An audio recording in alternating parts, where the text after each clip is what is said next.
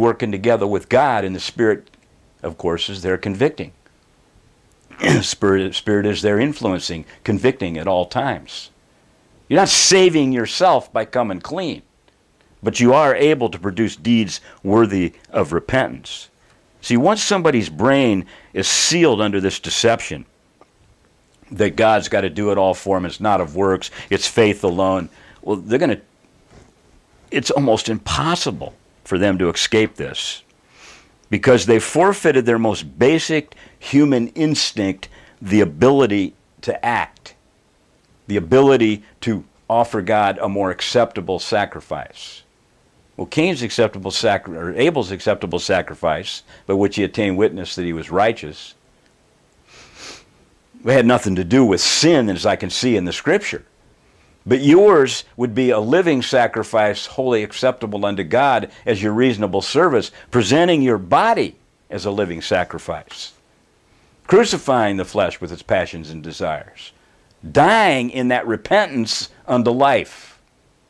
That's what it means. What's he mean? Repent, granted the re- Gentiles repentance unto life. Well, repentance is where you're going to come through that process, die out. You don't come into Christ and then slowly die out to sin. You don't come into Christ and then sin less and less. So that's the fallacy where many people are trapped under, thinking that they're saved in Christ while they're still defiled, they're still returning to their vomit as we pound upon over and over again. So you have the ability to act, you forfeit that, and you're under delusion. And we've found that very few people can come out of that.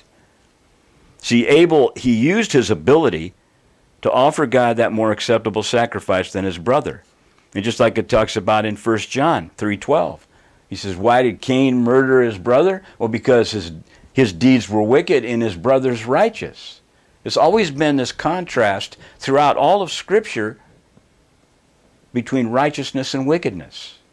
The highway of the upright is to depart from evil. He that keeps his way preserves his soul, the Scripture says. Keeps his way. He that walks that highway, that strives through that narrow gate. See, you don't, no one that strives through that narrow gate in, in that repentance brings along pride and arrogance or malice and hatred and pounding their chest like a Pharisee. No, it doesn't happen. Anyone that's come through that narrow gate doesn't bring that kind of baggage with them. That baggage and those dispositions were crucified in repentance.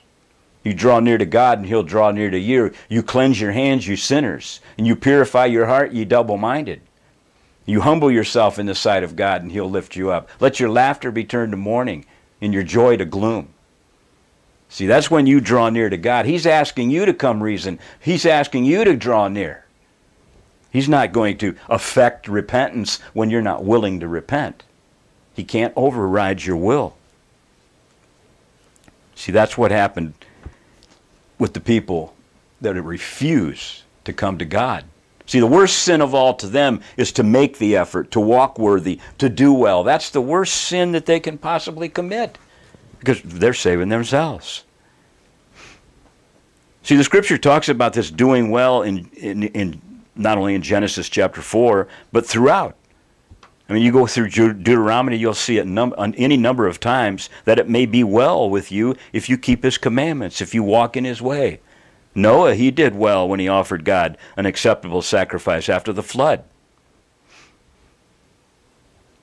See, again, because he had the ability to do so, he did so. He put forth the effort to draw near to God and to offer him that sacrifice in obedience from his heart. So you come and reason with God. You draw near to God. You seek the Lord while he may be found. You call upon him while he is near.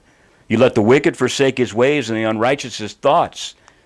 And let him return to the Lord, and he will have mercy on him, and my God will abundantly pardon.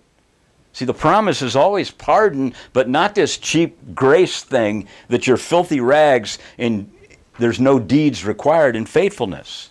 Romans chapter 4 doesn't teach that you're justified in your sins. Certainly, he justifies the ungodly. Well, how else would you need to be justified? Only the, righteous have no need of repentance. I don't see I don't see the righteous. He says the the blessed is over one sinner. The angels rejoice over one sinner that repents, not over 99 righteous that need no repentance. So the ungodly is certainly that come into a right relationship with God. There's no saying there's no indication in Romans chapter 4 that Abraham remains ungodly, that David remains ungodly. I know you love to use him as an excuse for your sins, but he's a very rare case of restoration in the scriptures. Abraham had a pattern of obedience, walked in the steps of faith, did the deeds of faith, was fully persuaded in his faith, fully faithful in his faith. That's why James talks about he was justified by what he did and not by faith alone. So it's not teaching that you're justified in your sins by isolating one portion of Scripture when Jesus said it was made perfectly clear throughout that it was the deeds done that determines who enters the kingdom and who doesn't. God will render to each one according to his deeds eternal life to those who by patient continuance in well doing seek for glory, honor, and immortality. That should be the end all of the discussion, but so many of you just will not accept it. To those that are self seeking and do not obey the truth, but obey unrighteousness, they'll have indignation and wrath, and tribulation and anguish on every soul that does evil. But glory, honor, and peace for everyone that does good or does well. Again, doing well or doing evil. You can't escape works. You can cry not of works all day long, but you're doing the works of iniquity perfecting sin in your life, thinking that's acceptable to God because you can confess 1 John 1 9 all the time. And then just pick up where you left off again and again and again. Well, how's that any kind of a relationship with God? It's certainly not a relationship within a marriage. And that's what it's likened unto. The ransom is likened unto a covenant marriage relationship that we enter into based on our faithfulness to the end. See, the gift of eternal life is held in trust, it's held in earnest. It's like it talks about in Ephesians chapter 1, verse 14 and 15, in 2 Corinthians 1. It's held in earnest until the hope is the hope of eternal life in the age to come, yet to be reaped. You don't have eternal life now. You have Christ abiding into you if you're walking in purity and righteousness and holiness all the days of your life, yes. You have that hope, that assurance that that hope is in Christ. Certainly, but not if you're sinning all the time. There's no hope in that at all. So, not doing well in rebellion towards God is not going to enter the kingdom. So, if you do well, will you not be accepted? Yes, of course you will if you do well, if you come clean with God. If after you come clean and you have true redemption, you're filled with the Spirit, and then it should be joyful to walk in obedience to God. It's not burdensome to keep His commandments. It's, it's not a heavy yoke upon the back of a person. My yoke is easy, my burden is light, he said. My commandments are not grievous. Why? Because you've been washed clean. You've been purified. But if that's not evident in your life and your conduct, well, then how, how has faith or grace or the free gift done you any good? See, it's been without purpose. If you're still addicted to your vile habits, if nothing tangible is apparent in your life, that you're just a professed Christian and you're no perf- nobody's perfect, just forgiven. You're still doing the same things you did before, the same things the world does. You're still addicted to your worldly activities and your sports and your football and all the rest of it then how is it pretending that you have life in Christ of any value? It's a joke to the world. They see the hypocrisy.